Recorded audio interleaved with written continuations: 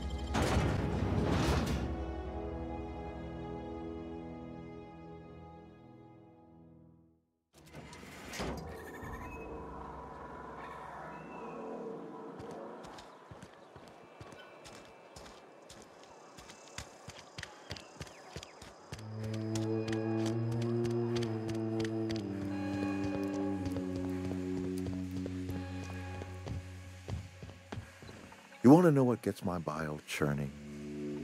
Edgewater has suffered a cavalcade of disasters plague, marauders, desertion. Then you wandered in town. And I was so damn sure our luck was starting to turn. I never knew how right I was. Just answer one question for me. Why'd you do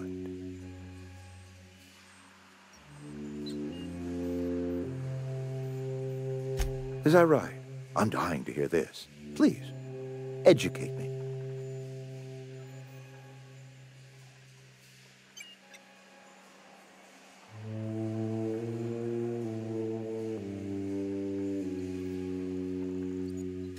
Liberating? Edgewater is my home. The only home I've ever had. I put down roots here, gave decades of my life to this place. I never asked to be liberated. Whatever you were hoping to find down here, I advise you to turn around and leave. I have got guards posted with orders to fire on you.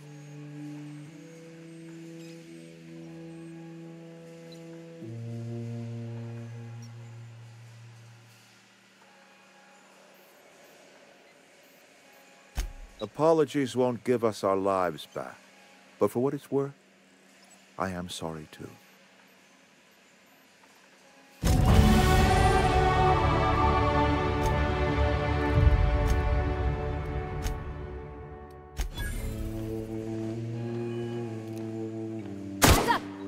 I ain't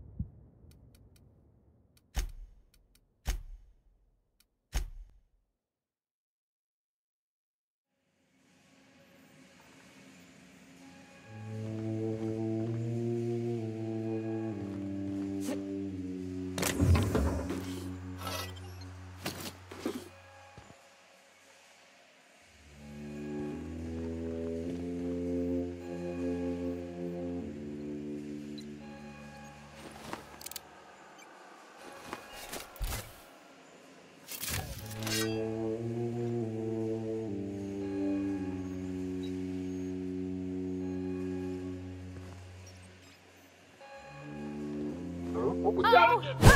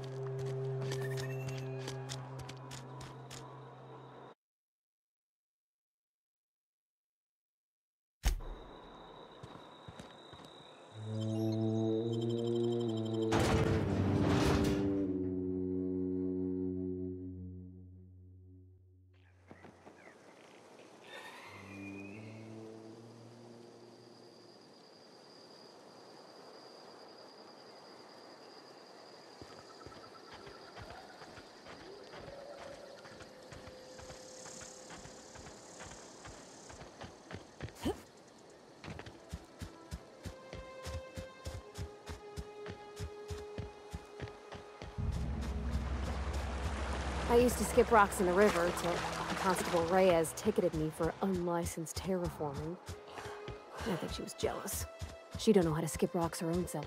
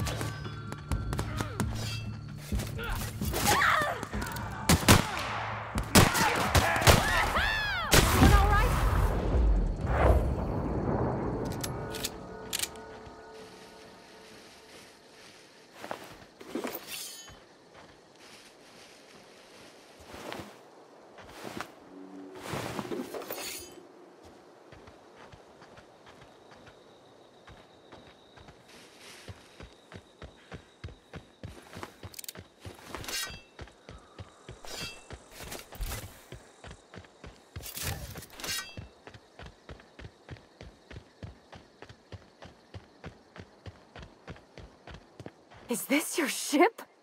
Oh my stars, she is just so handsome! Does she have a name yet? What's her drive model? Oh, gosh. Listen to me babbling. When I was in Edgewater, I dreamed of flying on a real ship, working on a real engine, belonging to a proper crew. Edgewater won't last another season without power, but that don't change the fact that I'm indentured to Spacer's Choice.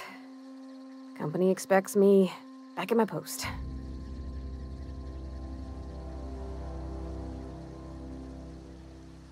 I have imagined it, but until you came along, I never thought I had the choice. I want to ask you something, and you can say no. But can I come with you? I could tend to your engine. I know my G-valves from my catalyzers, and I can keep your ship singing. And if you ever need a pair of eyes watching your back, I can do that too. What do you think?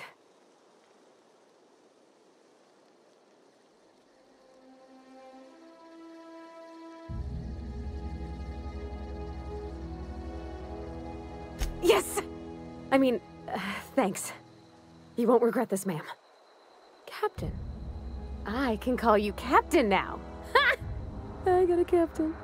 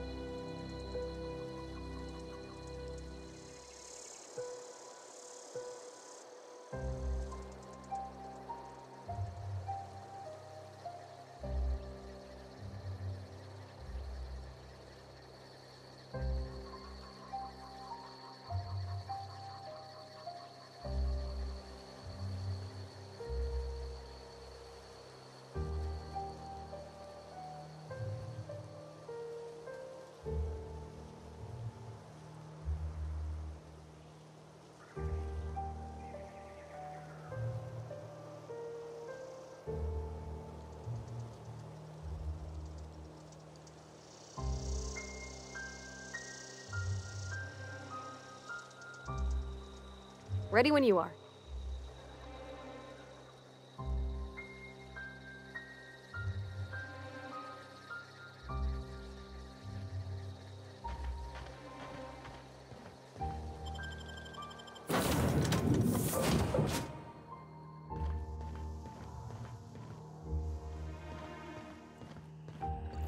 Captain, I have detected that the town of Edgewater is now with. What can I do for you, Captain?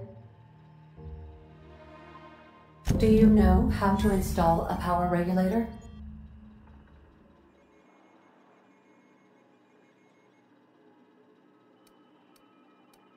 Outstanding, Captain. Your aptitude for engineering will prove invaluable in the event of another catastrophic engine failure. Our engine room is located behind you, across the cargo bay, up the ladders.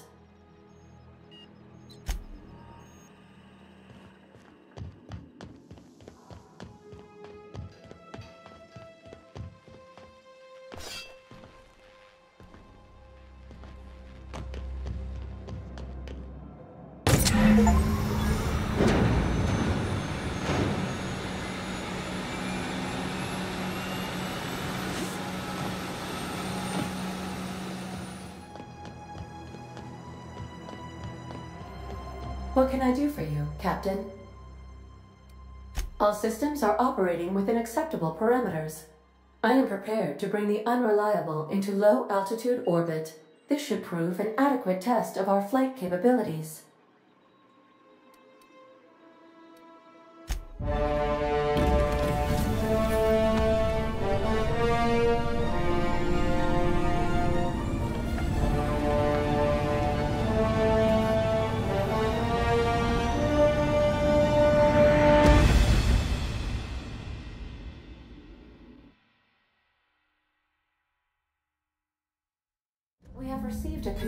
Communication request from Dr. Phineas Wells.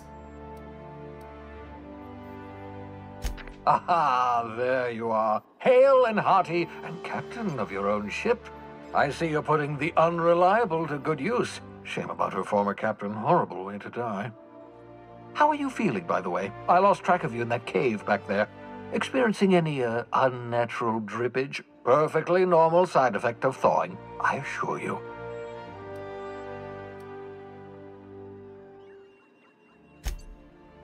Oh, that, yes, um, that's probably permanent. I wouldn't worry about it, though. I'm sure you're fine. What you saw in Emerald Vale is happening all across the colony.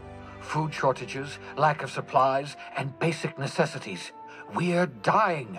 The chairman, the minister, and all their lackeys on the board are to blame. The Hope has some of the brightest minds Earth ever sent us. If we can revive the Hope's colonists, they can help us undo the board's mistakes. They can help us set things right.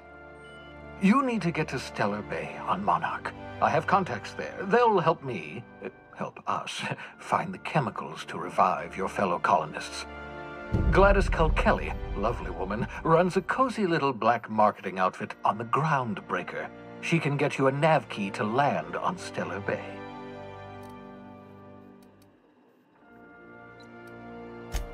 Strictly speaking, Monarch is a moon, terraformed badly, and almost completely lawless. You'll love it.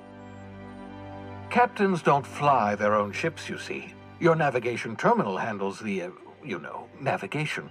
Think of a nav key as a set of flight instructions. The board's been confiscating nav keys for Stellar Bay, so we must rely on unconventional means of acquisition. Hence, Miss Gladys Kelly.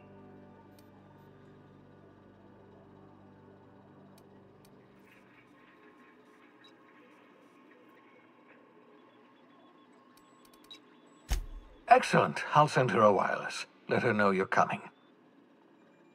By the way, I gave Captain Hawthorne a disguise apparatus of my own design, cutting-edge technology, years ahead of its time. I call it the Holographic Shroud. I'm sure it will prove remarkably useful to you. You'll find it in the captain's quarters. Marvelous device. I'm quite proud of myself. The shroud changes the user's appearance to mimic that of another. It has limits, first-generation technology, you see, but promising. Exciting to see it in use at last. Very simply, the holographic shroud uses biometric information contained on standard identity cartridges to generate a holographic projection around you.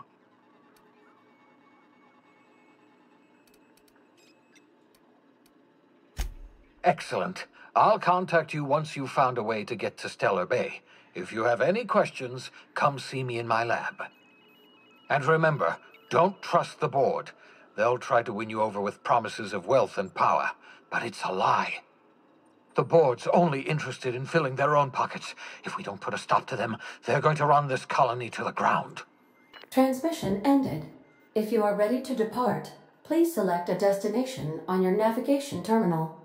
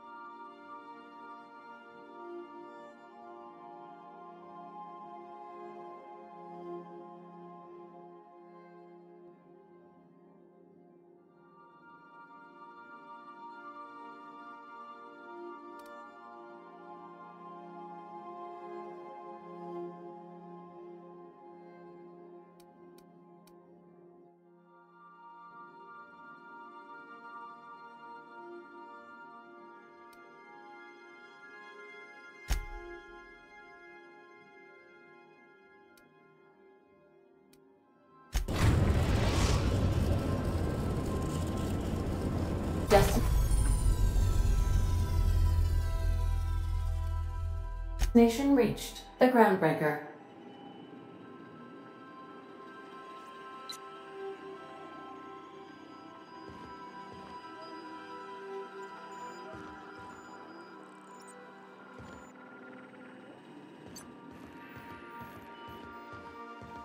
Can we talk?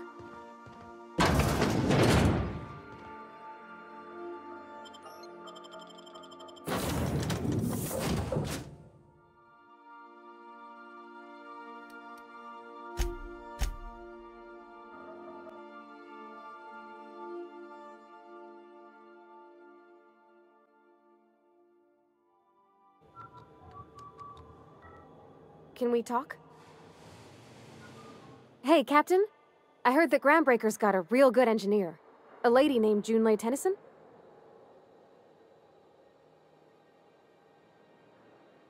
I was thinking that maybe I ought to meet her. If you got time to swing us by, I mean. I don't got much experience fixing actual spaceships. I bet you a can of Borston beans she could teach me all manner of stuff.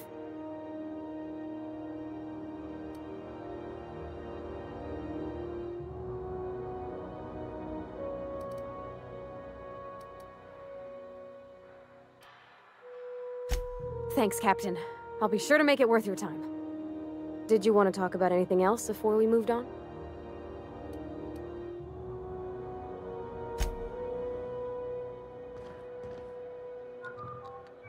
Just checking your ship's manifest. Standard procedure. Welcome to Groundbreaker, by the by.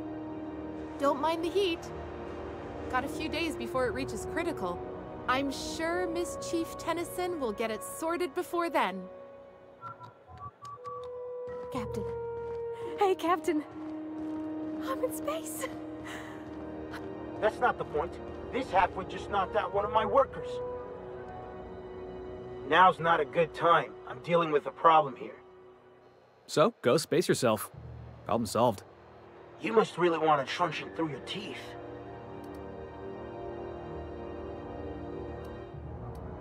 Do what you want. I'm done here. Whatever you heard, it's all true.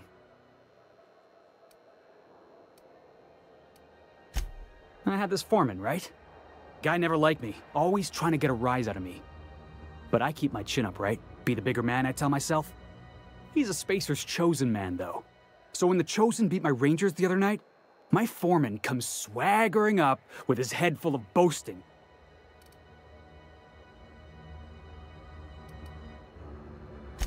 That's when I broadsided him with a tossball stick. Yeah. Look, this was a long time coming. Guy thinks he can push me around because he's some sky-high foreman, and I'm just a back bay's dock worker. Well, former dock worker. Guess I just tendered my resignation.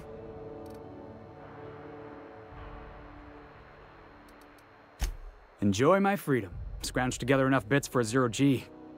Other than that, can't say as I do. Hey, not for nothing. But I saw you wander out of that ship over there by the dock. Wouldn't happen to be yours, would it?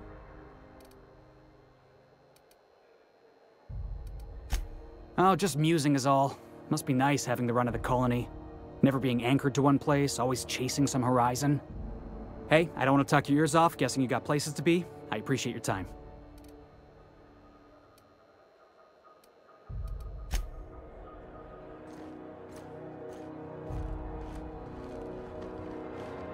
Just arrived? Head over to customs. Wheeler needs to process you.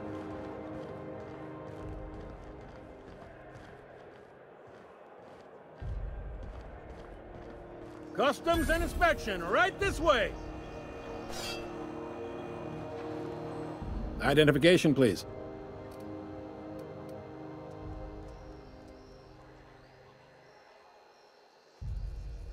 Captain Hawthorne, you said. Let me apologize in advance. I'm about to ruin your day. According to your ship's record, you've been flagged by the board. Your ship will be impounded until such a time as they see fit to lift it. We've hardly been out of Edgewater long enough to get in trouble. Now, hold on. This isn't the end of the world. Probably.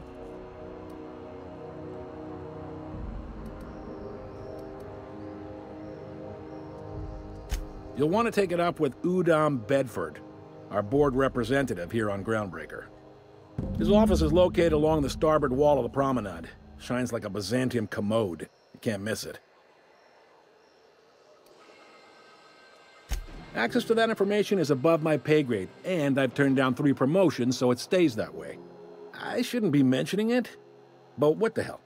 This here, impounding your ship, it doesn't happen much. The board knows we don't take kindly to their interfering in our operations. If I had to take a guess as to why, you must have riled up someone important.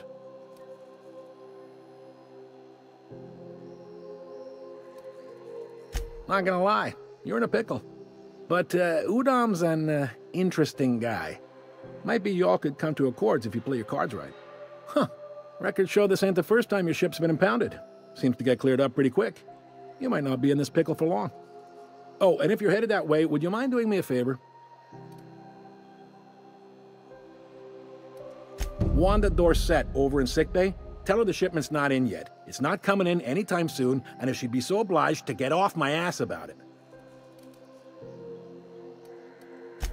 Much appreciated. Is there anything else I can help you with? The fence. You'll find her in the rest and go, on your left when you enter the promenade. Make sure you bring an empty belly. Be seeing you.